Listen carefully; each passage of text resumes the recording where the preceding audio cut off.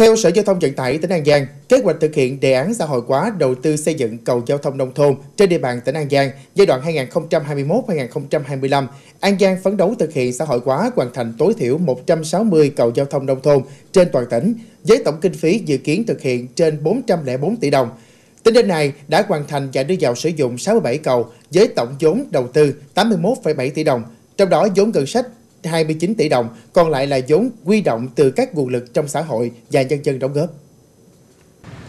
Từ kết quả trên cho thấy, do việc quy động tối đa nguồn lực đầu tư của nhà nước, sự nỗ lực của các cấp ngành địa phương và sự đóng góp của các tổ chức cá nhân, hệ thống kết cấu hạ tầng giao thông, trong đó có quy động cho xây dựng cầu xã hội hóa trên địa bàn tỉnh, từng bước đạt yêu cầu kế hoạch đã đề ra là nhờ nguồn lực từ các nhà mạnh thường quân cũng như tất cả các tầng lớp nhân dân trong xã hội góp sức các địa phương có sự nỗ lực thực hiện phương châm, nhà nước và nhân dân cùng làm, đã đẩy nhanh tuyên truyền và vận động mọi tầng lớp nhân dân, xác định được việc xây dựng cầu xã hội hóa là nhiệm vụ chung của toàn xã hội, mang lại lợi ích thiết thực cho nhân dân, tạo sự đồng thuận lớn cho nhân dân và được tin tưởng.